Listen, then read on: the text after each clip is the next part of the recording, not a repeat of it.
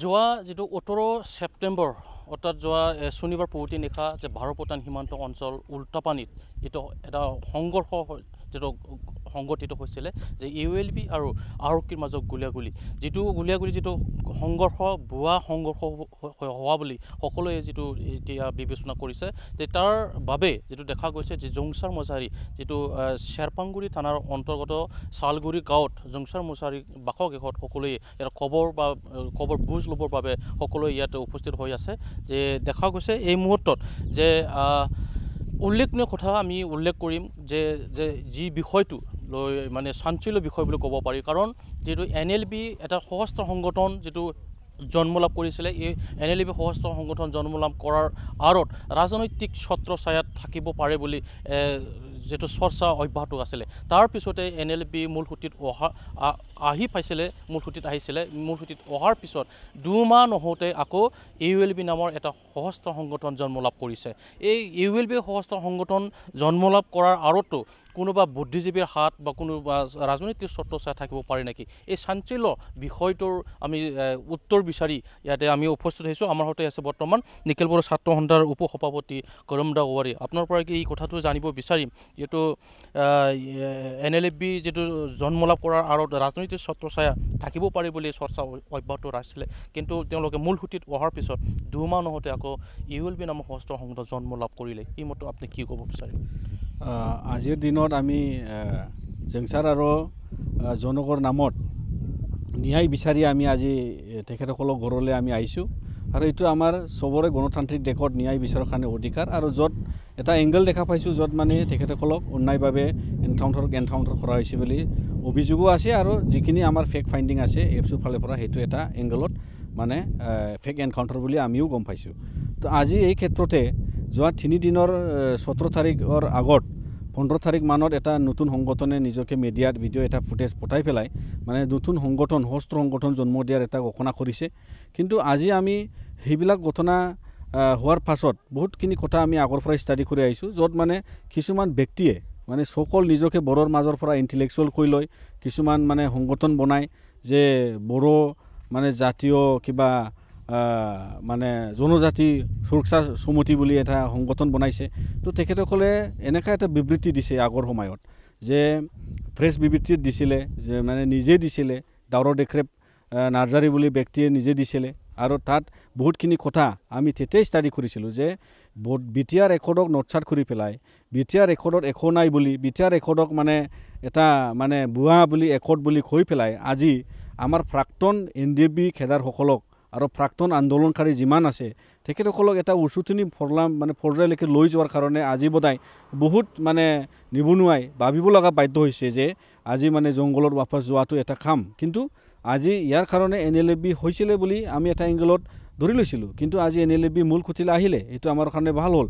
কিন্তু আজি U L B বুলি এটা সংগঠন গঠন কৰাৰ পাছত আজিও আকৌ এটা এংগল আমি দেখাব পাৰিছোঁ য'ত মানে লগালগ মানে য'ত মানে ইউ এল বি নামত দুইজন ব্যক্তিক অন্যায়ভাৱে হত্যা কৰা হ'ল। হয় ঠিকে আছে বহুতে ঘৰত আহি মানে মনোভাৱ প্ৰকাশ কৰিছে দুখ প্ৰকাশ কৰিছে। কিন্তু এই ঘৰত আহি পেলাই আজি এই দুই তিনিজন ব্যক্তি যোনে মানে আগৰ সময়ত আমাৰ চুক্তিকাৰী নেতাসকলক অন্যায়ভাৱে মানে বেয়া বেয়া কথা কৈ পেলাই প্ৰেছত গালি গালাজ দিয়ে। আমাৰ মানে চুক্তিকাৰী নেতা প্ৰমোদ বড়ো ডাঙৰীয়া আৰু আজিৰ মানে বৰ্তমানৰ বি টি আৰৰ চিফ আৰু আজিৰ বৰ্তমানৰ অসম অসম চৰকাৰৰ এজন মন্ত্ৰী উৰ্খাও কৰা ব্ৰহ্ম ডাঙৰীয়া আৰু বিভিন্ন গোবিন্দ বসুমতাৰী ডাঙৰীয়া ডিপুটি চিফ আৰু এম এল এ তেখেতক মানে বেয়া বেয়াকৈ গালি গালাজ দিছিলে দাউৰৰ দেখ্ৰেপ মানুহে। আজি দাউৰৰ দেখ্ৰেপসকলে আমাৰ নেতাবিলাকক গালি গালাজ দিয়াৰ পাছত সেইটোৱে বুজাই নাকি?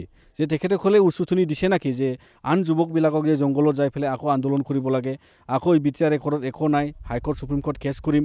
তো আজি এইটোৱে বুজাই নাকি যে আমাৰ যিমান প্ৰাক্তন এন ডি এফ বিৰ কেছ উইড্ৰলৰ কাম চলি আছে আজি ৰঞ্জন দৈমাৰীকো জেলৰ পৰা ওলোৱাৰ কাৰণে প্ৰচেষ্টা চলি আছে তাৰ মাজতেও যদি এনেকুৱা এটা উচুথনিমূলক আৰু বেয়া বক্তব্য যদি বড়ো সমাজত ৰাখে তেনেহ'লে বহুত নিবনুৱা যুৱ যুৱতীয়ে এনেকৈ ভাবি ল'ব যে এই মানে ব্যক্তিৰ কাৰণে আজি আমিও মানে সেইটোৱে ভাবি লগা বাধ্য হৈছোঁ যে এই দুইজন তিনিজন ব্যক্তিৰ কাৰণে আজি ইউ এল বি জন্ম হৈছিলে আৰু আজি বিভিন্ন সংগঠন জন্ম হ'ব পাৰে আৰু এটা ভাইলেঞ্চ সৃষ্টিমূলক এটা পৰিস্থিতি হ'ব পাৰে। তো আজি ইয়াৰ কাৰণে যেতিয়া জংচাৰৰ ঘৰত আহি পেলাই এনেকৈ আন্দোলন কৰিছিলে।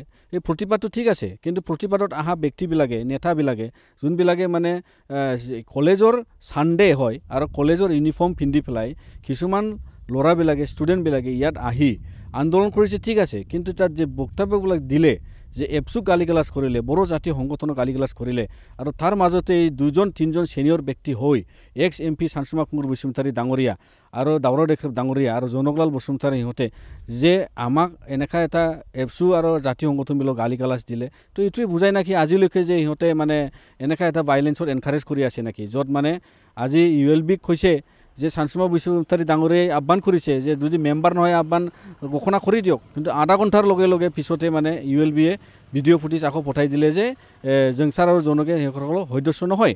তো এইটো এটা এংগল কিন্তু আজি চানচুমা খুংকুৰ খোৱাৰ দৰে বা দাৰৰ দেশৰেপ খোৱাৰ দৰে আজি ইউ এল বি জন্ম হৈছে নেকি? তো এইটো আমাৰ এটা ধাৰণা হয়।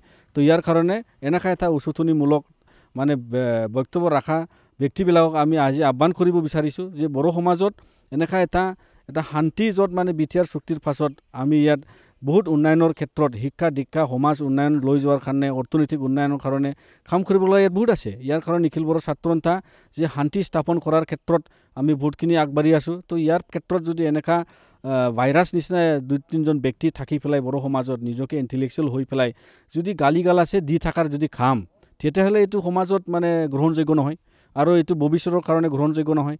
তো ইয়াৰ কাৰণে আমি আজি আহ্বান কৰিছোঁ যে তেখেতসকলে এনেকুৱা এটা মন্তব্য ৰখাৰ পৰা দূৰত থাকিব লাগে যাতে বড়ো সমাজক এটা সুযোগ দিব লাগে যে এখদৰ পাছত এটা ৰাজনীতিভাৱে যিটো শাসন কৰিব লাগে এই ব্যৱস্থাৰ মাজত আহি কথাবিলাক কওক কিন্তু এনেকুৱা উচুথনিমূলক কথাবিলাক কৈ পেলাই মানে নিবনুৱা যুৱকবিলাকক এনেকুৱা উচুথনি দিব নালাগে।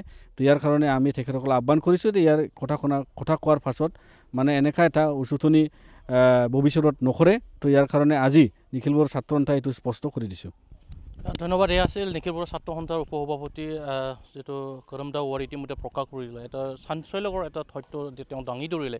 যিটো বড়ো জাতিৰ মাজত তিনিগৰাকী যিটো বুদ্ধিজীৱী আছে যে প্ৰাক্তন লোকসভাৰ সাংসদ চাঞ্চমা কুংগুৰ বৈস্মৃতিয়াৰী দাউৰা দেক্ষেপ নাৰ্জাৰী আৰু জনকলাল ব্ৰহ্ম বসুমতাৰ জনকলাল বসুমতাৰ। এই তিনিগৰাকী ব্যক্তিৰ উচতনিতে যিটো ইউ এল বি সশস্ত্ৰ সংগঠনৰ জন্ম লাভ হৈছে নেকি তেওঁলোকে যিটো নিখিল বড়ো ছাত্ৰ সন্থাৰ পাৰৰ পৰা তেওঁলোকলৈ যে সন্দেহ সন্দেহৰ আঙুলি থোৱাইছে কাৰণ যে জংচাৰ মুছাৰী যোনদিনা যিটো মৃত্যু হৈছিলে পিছদিনাই যিটো তেওঁলোকে প্ৰতিবাদত আহি মানে দাবী কৰিছিলে যে আহ্বান কৰিছিলে যে যদি ইউ উইল বি সদস্য নহয় তেতিয়াহ'লে